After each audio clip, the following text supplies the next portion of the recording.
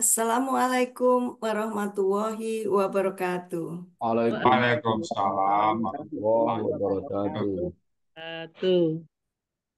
Sampailah kita ke acara utama yang sama-sama kita tunggu, yaitu menguraikan ayat suci Al-Quran secara gramatikal, surat Al-An'am ayat 36, yang akan disampaikan oleh Ustadz Hazrizal Al-Hasani yang pagi hari ini didampingi oleh Ibu Yana Mariana Hanafi dari kelas GGF 13.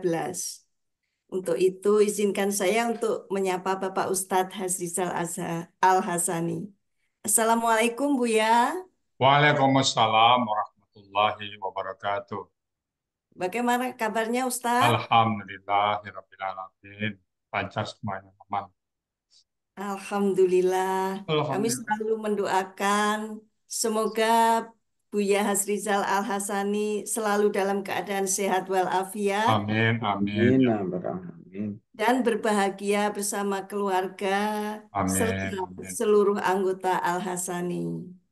Semoga beliau dipanjangkan umurnya agar bisa terus membimbing seluruh anggota Al-Hasani agar bisa mengurai Al-Quran dengan mudah. Amin. Begitu juga untuk Ibu Yana Mariana Hanafi, kami doakan semoga Allah meridhoinya sehingga bisa menguraikan ayat Al-Quran surat Al-An'am ayat 36 dengan tenang dan penuh semangat.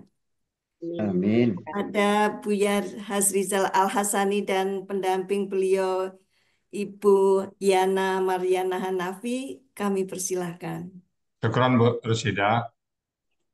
Terima kasih Ustadz. Baik Bapak Ibu semuanya. Bismillahirrahmanirrahim. Assalamualaikum warahmatullahi wabarakatuh. Waalaikumsalam warahmatullahi Waalaikumsalam wabarakatuh. warahmatullahi wabarakatuh. Alhamdulillah. Alhamdulillahirabbil alamin. Wassalatu wassalamu ala asrafil anbiya'i wa mursalin wa ala alihi wa ashabihi ajma'in amma ba'd. Qala Allah Ta'ala fil Qur'anil Karim A'udzu billahi minasyaitonir rajim. Bismillahirrahmanirrahim. Walaqad yasanna Qur'anal zikri wa hal min dzakir. Qala Nabi sallallahu alaihi wasallam khairukum man ta'allama Qur'an wa 'allama. Sadaqallahul azim, karim, wa nahnu ala zalika syakirin, walhamdulillahi. Pertama-tama dan utama sekali, marilah selalu kita bersyukur pada Allah Subhanahu wa taala yang mana pada pagi hari yang sejuk ini, pagi yang damai ini Allah masih banyak memberikan kepada kita rahmat, nikmat serta karunia-Nya. Allah masih memberikan kepada kita rahmat beragama Islam, agama yang Allah ridai. Dan Allah juga memberikan kepada kita nikmat iman. Semoga dengan nikmat iman ini kita mudah melaksanakan perintah Allah dan sekaligus juga mudah menjauhi larang-larangnya. Pagi ini Allah masih memberikan kepada kita nikmat sehat badan. Kemudian dengan nikmat sehat badan ini kita bisa melaksanakan aktivitas kita dengan baik dan sempurna. Dan pagi ini juga Allah masih memberikan kepada kita nikmat panjang umur. Itu artinya Allah masih memberikan kesempatan kepada kita untuk memperbanyak bekal menghadapnya. Dan pagi ini Allah berikan kepada kita yang tidak Allah berikan kepada setiap orang, yaitu nikmat mencintai Al-Quran. Nikmat ini hanya Allah berikan kepada orang-orang tertentu dan orang-orang pilihan. Mudah-mudahan kita termasuk orang-orang pilihan. Selawat beri salam tidak lupa kita sampaikan kepada uswatun hasanah kita, suri dan kita Nabi besar Muhammad Sallallahu Alaihi Wasallam, pada keluarga beliau, sahabat-sahabat beliau, orang-orang ikut beliau sampai akhir zaman nanti. Kita berharap kelak nanti dia Melisa berjumpa dengan beliau dan beliau pun memberikan syafaatnya kepada kita semuanya. Dan bersama-sama beliau kita memasuki surga Allah. Dan di surga pun kita berdoa kepada Allah agar kita bertetangga dengan beliau. Hujah kita apa? Hujah kita adalah kita mencintai Al-Quran. Allah berjanji Allah akan mengumpulkan orang-orang bersama orang-orang yang dicintainya. Dan kita buktikan bahwa kita cinta kepada Allah, cinta kepada Rasul, dengan mencintai Al-Quran. Baik, Bapak Ibu, pagi ini kita akan membahas surat Al-An'am ayat ke-36. Kita bersama Bu Yana Mariana Hanafi. Assalamualaikum Bu Yana. Waalaikumsalam warahmatullahi wabarakatuh, Buya. Eh, Ibu di mana posisinya ini, Bu? Ini saya di eh, apa BSD Tangerang Selatan. Oh, Ya. Bumi Serpong Damai ya, Bu ya. Iya, Bumi Serpong Damai. Ah, ini, Bu. Ibu masuk ke Harsani kapan, Ibu? Eh, tahun lalu di M1. Saya Ah, masuk waktu itu udah langsung di tengah jalan ya, udah KKL udah selesai katanya. ah, Jadi waktu KKSAD saya masuk, alhamdulillah bisa ngikutin. Cuma baru berjalan berapa lama tuh anak saya sakit di oh. Sempat berhenti saya karena nggak bisa ngikutin. Lalu ya, sudah itu alhamdulillah diajak lagi Bu Sispa. Ayo ya, Bu Yana masuk lagi, ini ada kelas baru GGF 13 itu. iya. Alhamdulillah saya masuk lagi mulai dari awal Oh.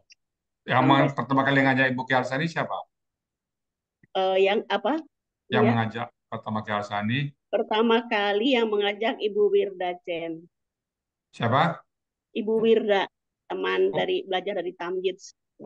oh, Ibnu Azhar. Oke. Ibu Wirda Chen, ya. Baik, udah siap ya, Bu. Sekarang Ibu berada di kelas IGF 13 bersama Pak Joko dan Bu Sispa ya. Iya, Pak, dengan Pak Joko Oke. dan Bu Sispa. Baik, Bapak Ibu ya. Silakan Bu Yana untuk memulai ayat eh, Al-An'am ayat 36. Waktu dan tempat kami persilakan sepenuhnya. Silakan Bu. Baik, terima kasih. Assalamualaikum warahmatullahi wabarakatuh. Waalaikumsalam. Waalaikumsalam warahmatullahi wabarakatuh. Alhamdulillah, alhamdulillahi rabbil alamin. Wassalatu wassalamu ala anbiya'i wal mursalin wa ala alihi wa ajmain. Asyhadu alla ilaha illallah wa anna Muhammadar Rasulullah. Puji syukur kita panjatkan atas segala rahmat dan kenikmatan yang senantiasa Allah curahkan kepada kita semua siang dan malam tanpa perhitungan, nikmat Islam, nikmat iman, dan nikmat bersama dalam mencintai Al-Quran. Solawat dan salam untuk junjungan kita Nabi Muhammad Shallallahu Alaihi Wasallam yang telah mengentaskan manusia dari lembah peradaban jahiliyah menuju puncak kemuliaan akhlak Islami melalui kalam-kalam ilahi untuk meraih kebahagiaan yang hakiki, kebahagiaan di dunia hingga akhirat nanti. Bapak, Ibu, peserta Zoom Al-Hasani, izinkanlah kami mengucapkan terima kasih yang setulus hati kepada Buya Rizal Al-Hasani yang telah menyusun dan meramu sesuatu yang tadinya sulit sulit untuk dipahami menjadi ilmu yang mudah untuk dipelajari, yaitu gramatikal Al-Quran, metode Al-Hasani. Metode ini telah membuka ribuan mata, metode yang telah menyentuh ribuan hati untuk mendekat dan meraih ridho ilahi dengan Al-Quran. Tadinya kami cuma belajar membaca dan tidak pernah diajari artinya. Sehingga seperti burung beo yang diajarin menirukan tanpa mengerti artinya. Tapi dengan belajar di Al-Hasani, kita bukan burung beo lagi. Alhamdulillah. Ada pertemuan, tidak ada perpisahan. Begitulah doa yang selalu dipanjatkan. Teriring doa, semoga Buya dan keluarga senantiasa sehat walafiat hingga selama mungkin menemani kami membersamai Al-Quran. Ucapan terima kasih juga kami sampaikan kepada guru-guru pembimbing yang tanpa lelah dengan sabar membimbing dan mengajar kami. Lelah yang akan menjadi lilah adalah lelah yang disukai Allah. Sabar yang pasti dibayar karena Allah adalah sebaik-baik pembayar. Wabil khusus kepada para pembimbing. Pembimbing kelas GGF 13. Pak Ustadz Joko dan Ibu Ustadz Asid Pak Yeni. Semoga jerih payah dan daya upaya beliau semua kelak akan menjadi pemberat pemberat timbangan kebaikan di yaumil hisab. Amin ya robbal alamin. Juga kepada guru-guru pembimbing yang lain dan para pengurus pendukung Akademi Al-Hasani. Baik pendukung secara moral maupun pendukung secara finansial. Walaupun tak kami sebutkan namanya, insya Allah malaikat akan mencatatnya dan Allah pasti mengganjarnya. Terima kasih juga saya ucapkan kepada semua teman-teman yang telah memberikan dukungan atas penampilan kami pada pagi hari ini. Juga untuk Bapak Ibu peserta Jum Al-Hasani pagi ini, semoga Bapak Ibu semua senantiasa dalam keadaan sehat walafiat dan dilimpahi keberkahan oleh Allah Subhanahu wa taala. Bapak Ibu peserta Jum Al-Hasani. Bahagia rasanya pagi hari ini kami bisa mendampingi Buya dalam menguraikan Quran surat Al-An'am ayat 36. Mudah-mudahan Allah memudahkan segala urusan yang kami hadapi dan mohon dimaafkan atas segala kekurangan kami. Maaf.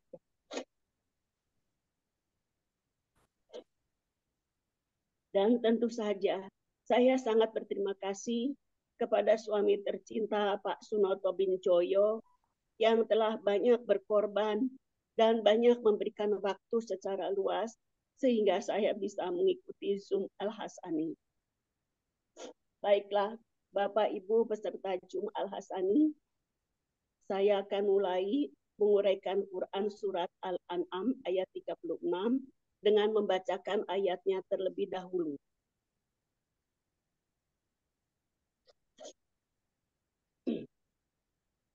Bismillahirrahmanirrahim.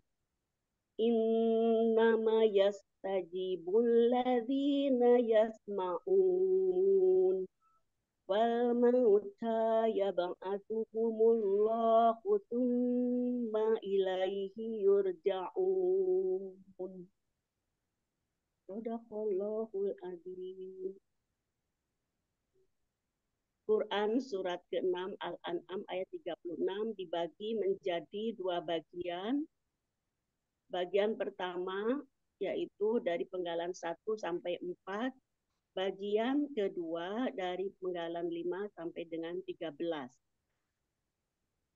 Bagian 1, penggalan ke-1 in nama penggalan 2 yastajibu penggalan 3 allazina penggalan 4 yasmauna, penggalan 5 wa, penggalan 6 al-mauta, penggalan 7 yaba'asu, penggalan 8 humu, penggalan 9 Allahu, penggalan 10 summa, penggalan 11 ilai, penggalan 12 hi, penggalan 13 yurja'una.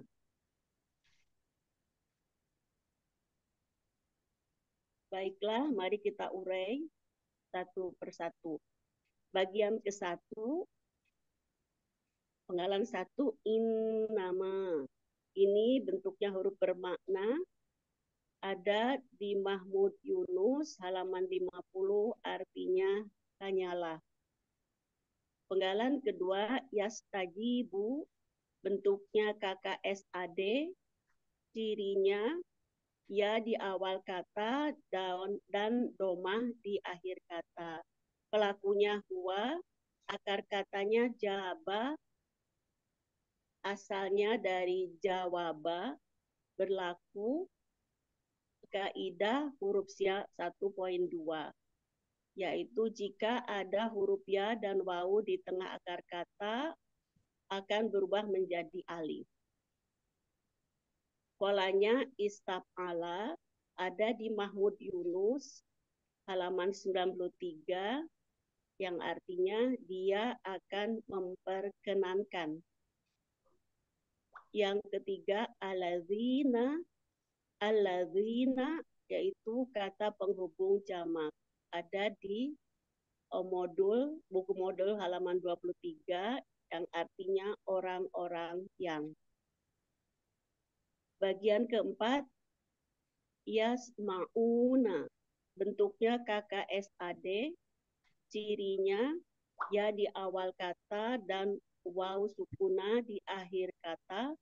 Pelakunya humu pelakunya hum.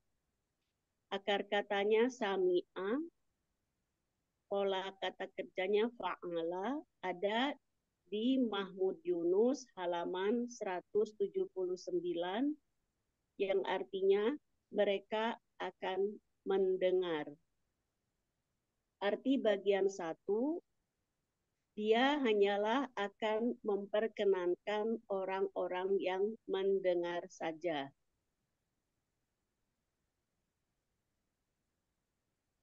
Urian bagian kedua,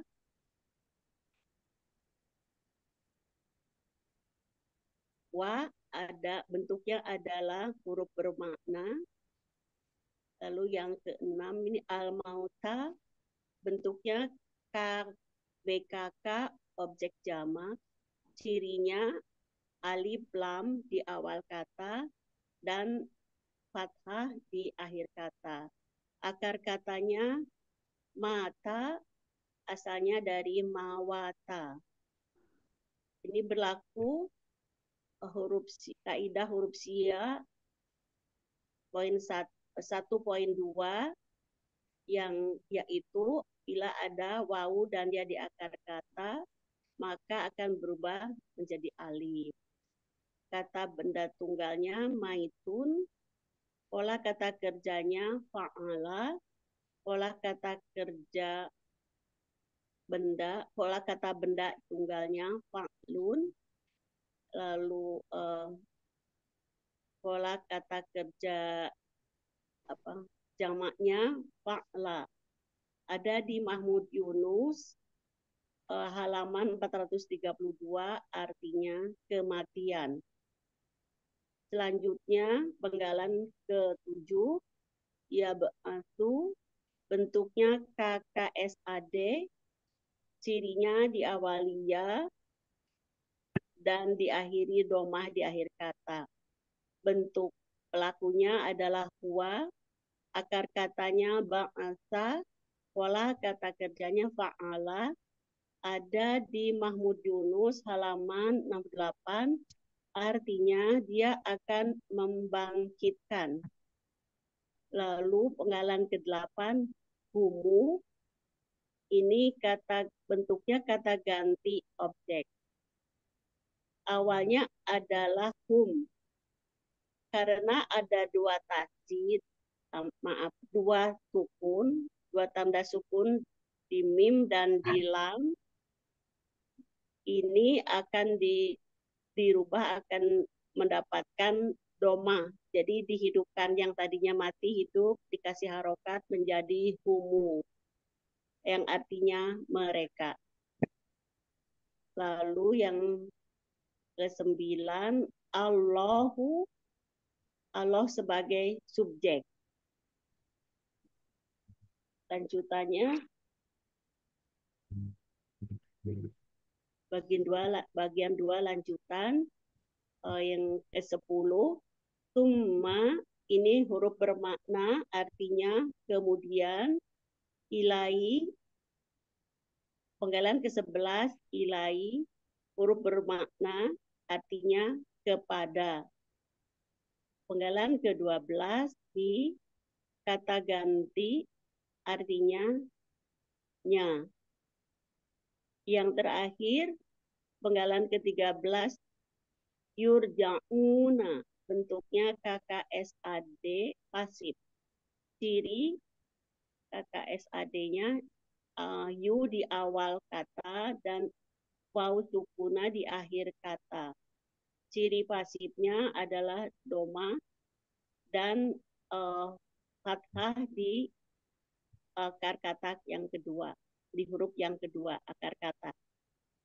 Pelakunya hu, akar katanya roja'a, polanya af'ala. Ada di Mahmud Yunus 138 yang artinya mereka akan dikembalikan. Arti keseluruhan Quran surat ke-6 ayat 36 Al-An'am dia hanyalah akan memperkenankan orang-orang yang mendengarkan saja dan orang-orang yang mati Allah akan membangkitkan mereka kemudian kepadanya mereka akan dikembalikan. Alhamdulillahirabbil alamin. Alhamdulillahirrahmanirrahim. Bu Yana, gimana rasanya Bu Yana mengenai ayat ini? Oh, rasanya lega. Mohon maaf. Pakai Hah? nangis segala. Mohon maaf. Oh, oh.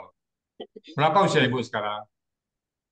Saya lahir tahun 56, jadi saya sekarang 68 tahun. Oh, 68 ya. Dulu aktif ya, Bu ya? Jadi pegawai. Kenapa? Dulu waktu eh, muda pegawai.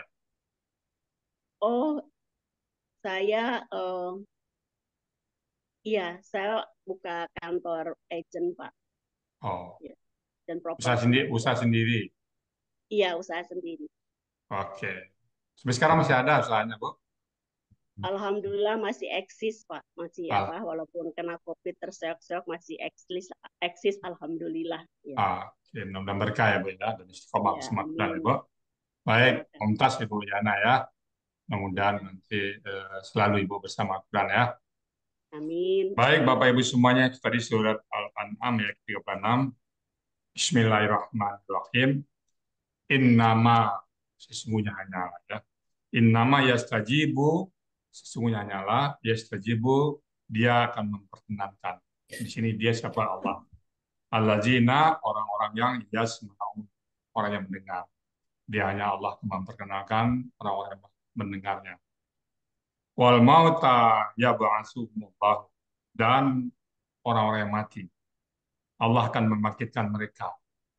Allah akan membangkitkan mereka orang-orang semua orang yang meninggal dibangkitkan untuk dimintakan pertanggungjawabannya. Cuma kemudian ilaihi kepadanya pada Allah yurja'un. Kita kembali semua.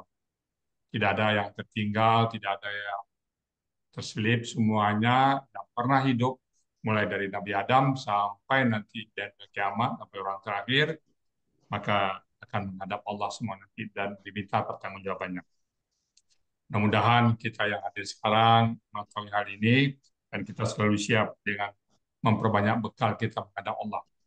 Terutama Al-Quran yang kita pelajari sekarang, mudah-mudahan Al-Quran ini akan menambah, membantu, eh, memberatkan timbang kita nanti di pada saat kita menghadap Allah Subhanahu Wa Taala. Baik Bapak Ibu semuanya, eh, karena kami masih belajar, kalau ada yang kurang, kami mohon dibukakan pintu maaf yang sebesar-besarnya. Dan kalau yang benar itu semata-mata datang dari Allah Subhanahu Wa Taala. Dan kepada Bu Rusida sebagai moderator kami kembalikan untuk melanjutkan acara.